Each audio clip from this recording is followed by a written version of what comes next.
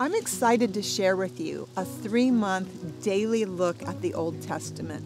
This is thoroughly studied out and biblically sound. You'll gain understanding into his covenants and into the biblical feast. You'll look at the lives of kings and how some of the good things they did and the mistakes they made can give you valuable lessons for your life today. After the three months, you will come away with a deeper understanding of how the love of God and His justice flow together. For more information, check out our website.